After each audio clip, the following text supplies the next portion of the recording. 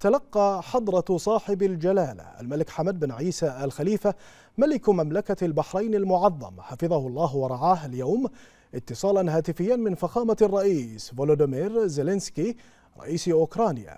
تم خلاله بحث التطورات الإقليمية والدولية الراهنة والأوضاع في أوكرانيا والقضايا ذات الاهتمام المشترك. وأكد جلالة الملك المعظم خلال الاتصال التزام مملكة البحرين الثابت بمبادئ ميثاق الأمم المتحدة وقيم السلام والتسامح والتعايش والاحترام المتبادل. وشدد جلالته على أهمية التمسك بهذه المبادئ وأكد أن البحرين بذلت الجهود وشاركت في العديد من المبادرات الدبلوماسية وقدمت الدعم الإنساني وأظهرت التزامها الثابت بتحقيق السلام والأمن الدائمين في أوكرانيا.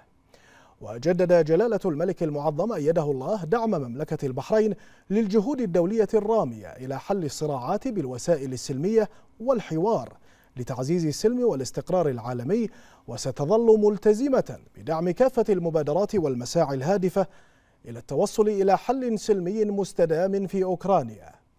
وشدد جلالة الملك المعظم حفظه الله ورعاه على أن التزام مملكة البحرين بالحفاظ على السلام والأمن في العالم هو موقف راسخ ودائم حيث ساهمت المملكة بنشاط في الجهود الإنسانية وقدمت المساعدة عند الحاجة وأن المملكة باعتبارها عضوا مسؤولا في المجتمع الدولي ستواصل المشاركة بكل حيوية في الجهود الدبلوماسية الخيرة والتعاون مع المجتمع الدولي لتعزيز السلام والاستقرار والازدهار حول العالم.